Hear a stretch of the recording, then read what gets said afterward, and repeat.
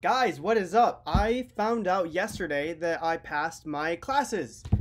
I was this close to dropping out, and I didn't. I didn't. I spent so much time on music, and I was failing my classes, and I distinctly remember getting down on my knees and saying, Hey, God, you know exactly what's going on. You know where I'm at. Do you want me to pass?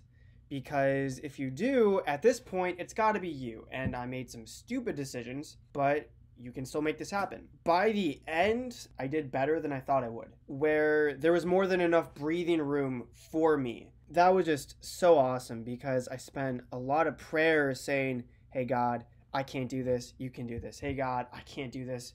You can do this. And He came through. I'm going to try and post a bit more regularly. Like I said, this is probably going to be more of a vlog than anything else and maybe not even for the intention of like a ton of people watching, but for record's sake. Yep. Going from school, talking more about music. Now, I'm not well entrenched in the music industry by any I'm not even in the music industry. I'm like an outsider to the music industry.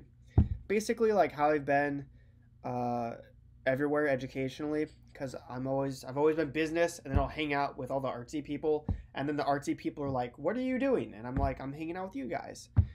Or one time I, I did a talent show. I got second place and I heard that a lot of the music people were like, "He's not even music." It's like, "Yeah, you got that right." And yet, when it comes to music production and the amount of skill that goes into all these little techniques to get everything just right, in my mind, it's more of engineering than artsy stuff. And it's more planning and perseverance than just creativeness. And honestly, I'm not even the best at it. I'm slowly getting better, but now that I have a break where I can actually recoup, refigure out where I'm at, where I'm going, what I'm doing, and then hopefully next semester I can actually get a balance of work and music and school and you guys know how it is. Whoever I'm talking to, you're awesome. Whoever you are.